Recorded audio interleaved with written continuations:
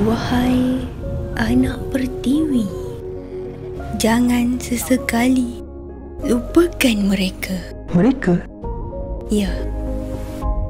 Mereka yang berjuang untuk memberikan kita nafas kemerdekaan, panorama kedamaian serta kesejahteraan.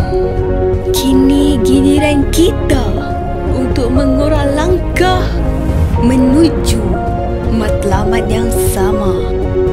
Demi Malaysia kesejahteraanmu